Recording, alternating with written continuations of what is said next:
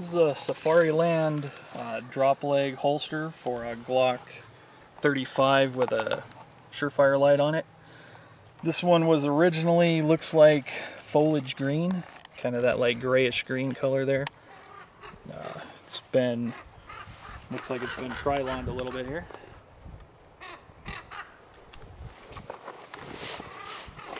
And uh, Krylon's kind of holding up pretty well. It looks like little scratches around the hood and around the edges where it might get banged up on stuff here. This one's been kind of modified a little bit. Uh, normally this kind of belt hanger here that the belt goes through extends up a little bit higher and it has a, a second leg strap here to make it a little more stable.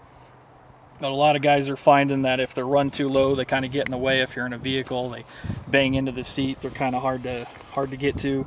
So if you take this top strap off, shorten this, it'll stick out the bottom. You just cut the bottom off and kind of melt it with a lighter so it doesn't fray. You can move this holster up higher and uh, make it a little bit easier to get to, easier to get to with your support hand if something happens and you're injured instead of having it way down low on your leg. A lot of people will go in here and kind of modify these and cut this whole section out here. Makes it a little more comfortable, a little lighter weight. Looks like this one hasn't been done yet though. Maybe so it can be put back in the original configuration.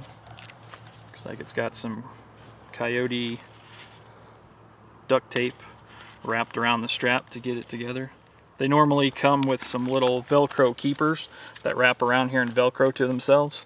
They're not really the most sturdy and they kind of come loose every once in a while, so duct tape's probably a better option for that. And this one has the rotating hood assembly here. To activate it, you have to push down on here. So if you're right-handed, you'd come in here with your thumb as you were grabbing your pistol, push down and push forward on that. And this has the secondary hood over the top to prevent somebody from trying to get at your gun and pushing that down. It just kind of keeps their hands out of the way there and allows you to come in here from behind and access it, draw the pistol out. For one of these drop rigs, brand new, you're probably looking at about maybe $120, somewhere in that range.